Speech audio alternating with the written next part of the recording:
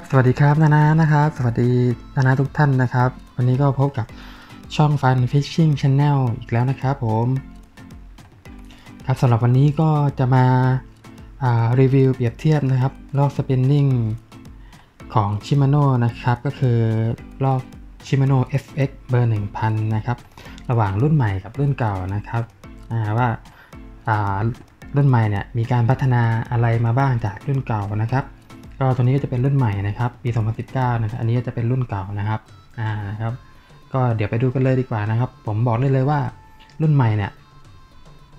รุ่นใหม่เนี่ยผมบอกเลยว่าน่าใช้มากครับ แล้วก็มีการปรับเปลี่ยนระบบภายในทำให้หมุนลื่นขึ้นนะครับ แล้วก็หมุนได้แน่นขึ้นซึ่งซึ่งมันแตกต่างได้เห็นได้ชัดเลยเดี๋ยวเราไปดูกันเลยดีกว่านะครับอ่านะครับ ตัวกล่องก็ไม่น่าจะมีอะไรมากนะครับ ส่วนใหญ่ก็จะเป็นบอกพวกรายละเอียดต่างๆนะครับถ้าเป็นตัวตัวเก่าก็จะมีพวกคู่มือใบรับประกันด้านในนะครับ แล้วก็ไดอะแกรมก็จะบอกที่ฝากล่องเลยนะครับ ส่วนตัวใหม่ตัวใหม่ก็กล่องจะเป็นประมาณนี้นะครับ แล้วก็ส่วนต่างๆที่บอกนะครับก็อยู่ประมาณนี้นะครับ เปคของตัวใหม่ก็รอบจะเป็นรอบ 5.1 เบรก 3 กิโลนะครับ แล้วก็น้ำหนัก 205 กรัมนะครับ ลูกเบิร์น2บวก1นะครับ แล้วก็การเก็บสายนะครับประมาณนี้นะครับ แล้วก็ตรงนี้ก็จะบอกสายนะครับ สายเบอร์ 2 ได้ 100 เมตร สายโมโน 0.25 ได้ 90 นะครับ แล้วก็สายไนลอนนะครับ เบอร์ 4 ได้ 140 เมตรนะครับนะครับ ประมาณนี้ ข้างในก็จะมีกล่องคู่มือไวรับประกันนะครับ เดี๋ยวไปดูตัวลอกกันดีกว่านะครับ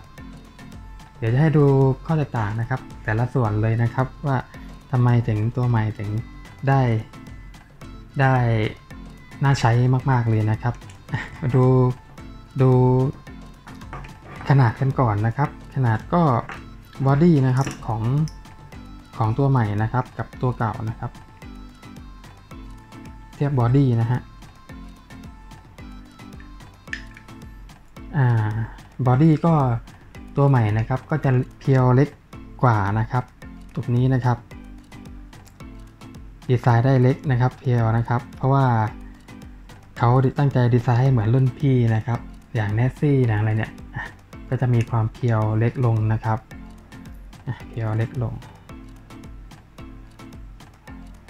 แล้วก็ spool ดีไซน์ใหม่ดีไซน์ใหม่หมดเลยนะครับ ดีไซน์ใหม่หมดเลย body ก็จะเล็กลงนะครับฝาเบรกฝาเบรกก็จะมีความต่างกันนะครับอ่านะครับ ฝาเบรกต่างกัน แล้วก็แขนนะครับ แขนเนี่ยแขนระหว่างตัวใหม่กับตัวเก่านะครับจะเป็นแบบนี้นะครับ ซึ่ง แขนตัวใหม่ก็จะสวยกว่ามากเลยนะครับ สวยกว่ามากเลย เป็นคล้ายๆ เป็นแขนโรบอทนะครับโรบอทอ่านะครับ robot นะครับ ส่วนอันเก่าก็จะเป็นแขนธรรมดานะครับ เป็นโลหะทั้งคู่นะครับ แล้วก็ knob ก็จะเป็น knob แบบนี้นะครับตัวใหม่นะครับอ่านะครับ ส่วนลายโรเตอร์นะครับลายโรเตอร์ก็จะเหมือนกันนะครับ แขนกว้านนะครับเหมือนกัน ไม่ได้เปลี่ยนอะไรนะครับ ฝาเบรกเปลี่ยนนะครับ spool ดีไซน์ใหม่หมดสวยงามนะครับนี่ครับสปูลนะครับ สปูลดีไซน์ใหม่ทั้งหมดนะครับ สวยงามแล้วก็สปูลก็มีขนาดเท่ากันนะครับ เท่ากันนะครับ เท่ากันนะครับทีนี้ตัวเก่าเวลาหมุนเนี่ยลูกปืนกันตีกลับนะครับ มันจะเป็นอย่างนี้ครับลูกปืนกันตีกลับนะครับ แล้วก็ความแน่นความแน่นของแขนนี่ครับจะมีระยะฟรีอยู่นะครับ ไม่แน่นมากนะครับนี่ครับผมจับนะครับ มีขยับได้ค่อนข้างเยอะนะครับอ่านะครับนี่นะครับเก่านะครับ แล้วก็เป็นเป็นคล้ายๆระบบล็อกลูกปืนนะครับ ไม่ใช่ลูกปืนนะเป็นระบบล็อกการตีกัดเป็นคล้ายๆหัวนกกระจอกเนี่ยผมเนี่ย นะที่ใช้น่าจะเคยแกะมาแล้วแต่ผมแกะดูอีกทีนึงก็ได้นะครับ แล้วก็ตัวใหม่นะครับ เป็นลูกปืนเดินหน้าทางเดียวนะครับ เดินหน้าทางเดียวนี่ครับหมุนแล้วหยุดเลยนะครับ แล้วก็ความแน่นของแขนนะครับโอ้แน่นมาก ดีกว่าตัวเก่าเยอะมากนะครับ คือขยับน้อยมากๆนะครับ ขยับน้อยมากๆหมุนแล้วรู้สึกถึงความ ความนิ่มความลื่นนะครับ ความ smooth นะครับโอ้ หมุนได้ดีมากๆเลยนะครับ หมุนได้ดีมากๆนะครับ แล้วก็ balance ของรอกเนี่ยทำมาได้ดีนะครับ เป็นแขนเสียบทั้งคู่นะครับ นี่คือส่วนที่แตกต่างนะครับ แล้วเดี๋ยวไปดูด้านในเลยนะฮะ มีอะไรต่างกันบ้างนะครับ ด้านในนะครับอ่าคลิกเสียงที่ล็อกฝาเบรกของรุ่นใหม่เนี่ยมัน ไม่ต้องกลัวว่าจะหล่นเลยครับ มันแน่นมากนะครับ คือมันเคี่ยวมันล็อกได้ดีมากครับอ่านะครับ อันนี้เป็นคลิกเสียงของตัวใหม่จะเป็นแบบนี้นะครับ เป็นเฟืองพลาสติกนะครับ เฟืองพลาสติก ตัวเก่านะครับเนี่ยเสียงคลิกเสียงมันจะแตกต่างกันนะครับ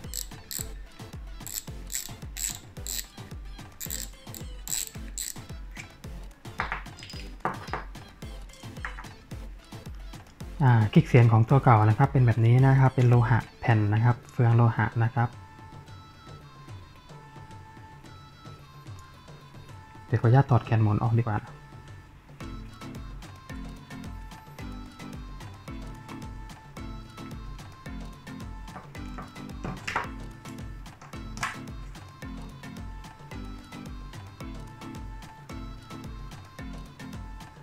ก็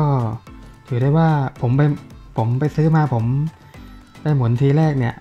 ผมตะลึงเลยครับว่ามันหมุนเนียนขึ้นกว่าเดิมเยอะมากๆนะครับแขนครับแขนดีไซน์ใหม่สวยนะครับอะดูสปูลนะครับ ขนาดสปูลเท่ากันข้างในนะครับ ข้างในนี่ร่องกรีดเสียงก็จะไม่เหมือนกันแล้วนะครับ ระบบคลิกเสียงนะครับ เห็นไหมครับตัวใหม่กับตัวเก่านะครับ ฉะนั้นเนี่ย สปูลใส่กันไม่ได้แน่นอนครับ ผมทรงนะครับ เนี่ยครับ สปูลใส่กันไม่ได้นะครับ เพราะว่าตัวกรีดเสียงไม่เหมือนกันนะครับ ใส่แทนกันไม่ได้นะครับเรื่องสปูล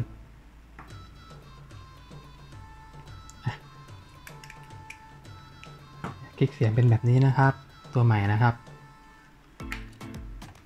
ตัวเก่าก็จะเป็น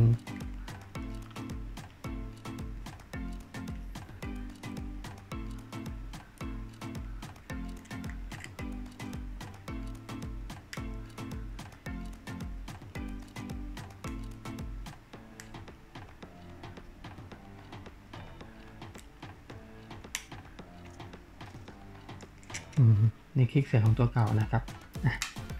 เดี๋ยวไปถอดโรเตอร์กันนะครับ ดูข้างในนะครับว่าจุดที่แตกต่างของลูกปืนกันติกับเป็นยังไงนะครับถอดตัวเก่าก่อนนะครับ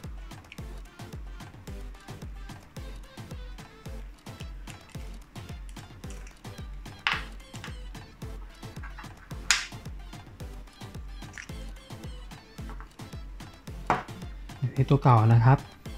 อ่าเดี๋ยวผมต่อตัวใหม่แป๊บหนึ่งนะครับ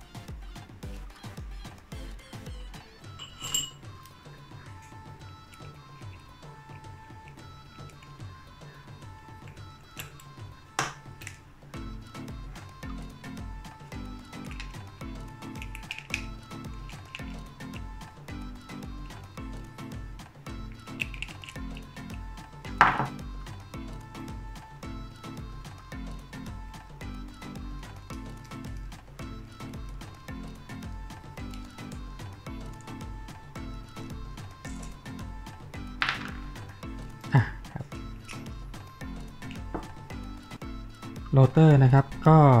ดีไซน์ก็คล้ายๆกันนะครับ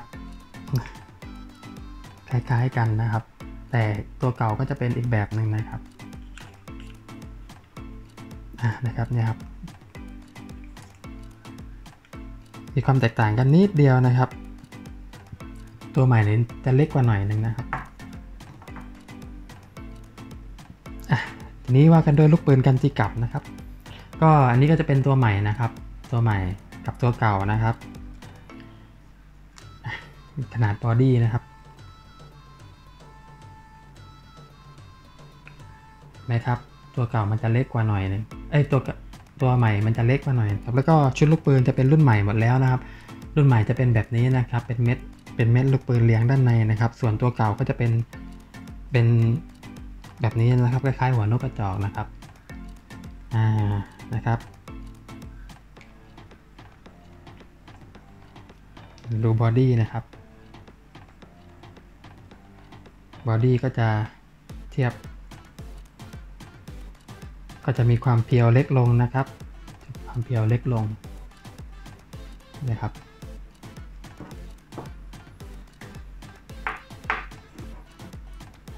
นี่ครับตัวใหม่กับตัวเก่านะครับ ดีไซน์นะครับ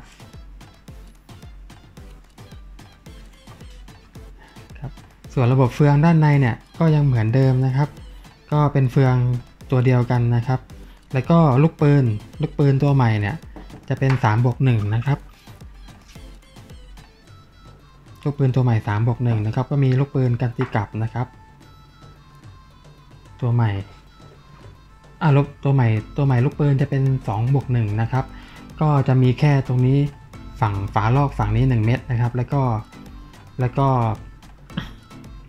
ลูกปืนกันติกับชุดใหญ่ตรงนี้1เม็ดแล้วก็ใต้พีเนียนเกียร์นะครับ1เม็ดนะครับ แล้วก็ฝั่งนี้จะเป็นบูทนะครับบูทสีฟ้าๆนะครับเนี่ยครับยังเป็นบูทอยู่นะครับ เป็น bush สีฟ้าๆนะครับ ส่วนตัวนี้นะครับ ตัวนี้เนี่ยลูกปืนเม็ดเดียวนะครับ ก็คืออยู่ใต้ใต้ใต้ใต้ใต้ pinion gear ตัวนี้นะใน body นะครับ ซึ่งผมก็ได้รีวิวไปแล้วนะครับในคลิปก่อนหน้านี้ครับ ซึ่งตัวนี้เนี่ย ผมอัปเกรดลูกปืนไปหมดแล้วนะครับ up ได้ 2 ลูกนะครับอ่านะครับ ก็คือฝั่งฝารอกทั้งสองข้างแล้วคือ up ไปแล้วนะครับ ก็ขนาดของลูกปืนเนี่ยก็จะอยู่ที่73 14 นะครับ ผมอธิบายไปตั้งแต่คลิปที่แล้วนะครับ ส่วนตัวใหม่นะครับ ตัวใหม่เนี่ยตรงนี้เท่ากันนะครับ ลูกปืนมีขนาดเท่ากันนะครับ เท่ากันนะครับก็คือขนาด73 14 นะครับ แล้วก็ฝั่งนี้เนี่ยผมก็วัดไว้แล้วนะครับ เดี๋ยวในคลิปหน้านะครับ คลิปหน้าสำหรับลอกตัวใหม่ตัวนี้นะครับ เดี๋ยวผมจะกะจะทำการอัปเกรดแบบจัดเต็มเลยนะครับ ก็คือ up ลูกปืนทั้งหมดนะครับ จุดไหนที่ยังไม่เป็นลูกปืนนะครับ แล้วก็ เปลี่ยน knob นะครับ เปลี่ยน knob เป็น knob แต่งนะครับอ่านะครับ เปลี่ยน knob เป็น knob แต่งนะครับ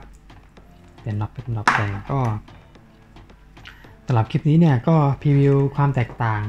คร่าวๆนะครับ ระหว่างรุ่นใหม่กับรุ่นเก่านะครับ ซึ่งผมมองว่ารุ่นใหม่เนี่ยโหเป็นไอรุ่นแรกนี่ก็ถือว่าทนเอาเรื่องแล้วนะครับ รุ่นใหม่เนี่ยได้ทั้งความคงทนแล้วก็ความหมุนนิ่มนวลสมูทนะครับเรียกได้ว่าคุ้มราคาเลยนะครับล็อกตัวนี้นะครับที่ผมซื้อมาผมก็ซื้อมาจากร้าน King Fisher นะครับ King Fisher ในย่านอ่าลาดกระบังนะครับ อยู่ตรงถนนกิ่งแก้วนะครับ ก็ร้านนี้ก็ อ้โหของเยอะมากนะครับแล้วก็ร้านให้บริการดีมากๆนะครับ สามารถสั่งซื้อออนไลน์ก็ได้นะครับ แล้วก็ราคาไม่แพงนะครับ ราคาย่ำยอแล้วมีของให้เลือกเยอะมากๆนะครับ ทั้งคันทั้งลอกเนี่ยโหเยอะมากจริงๆเข้าไปนี่รับรองครับตาลายแน่นอนนะครับ ของนะครับมีให้เลือกเยอะนะครับ ก็ฝากกันไว้ด้วยนะครับสำหรับคลิปนี้นะครับอ่าครับ ก็หวังว่าถ้ามีประโยชน์กับนานานะครับ ก็ฝากกด Subscribe นะครับ กดกระดิ่งนะครับ ให้ด้วยนะครับ เพื่อไม่พลาดคลิปถัดไปนะครับ เดี๋ยวคลิปหน้าเนี่ยผมจะมาอัปเกรดจัดเต็มรอก Shimano FX เบอร์พันรุ่นใหม่นะครับ up ลูกปืนจัดเต็มแล้วก็เปลี่ยน knob เลยนะครับ เปลี่ยน knob แบบจัดเต็มนะครับ เรียกได้ว่าจัดกันไปเต็มๆนอัปเกรดนะครับ ก็สำหรับคลิปนี้ก็ผมก็ขอลาไปก่อนนะครับนานะครับ สวัสดีครับ